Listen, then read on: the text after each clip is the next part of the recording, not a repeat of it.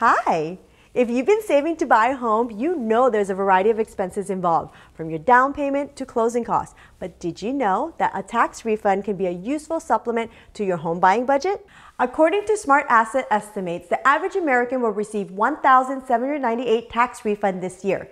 It's tax season, and that means many potential home buyers will soon be getting a tax refund. So here are several ways you could use those funds to bring yourself closer to home ownership. First, it will help you save for a down payment. One cost that's likely at the top of your mind is your down payment. You could reach your saving goal more quickly than expected by using your tax refund to help you with your down payment. Second, it can help pay for your closing costs. Before you officially take ownership of your home, you are required to pay fees to your lender and other parties involved in the transaction. Typically, home buyers will pay between 2 and 5% of the purchase price of their home in closing costs.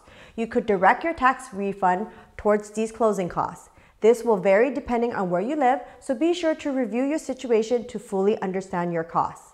And lastly, it can help lower your interest rates. Your lender might give you the option to buy down your mortgage interest rates during the home buying process. That means you could pay upfront to have lower interest rates on your fixed mortgage rates.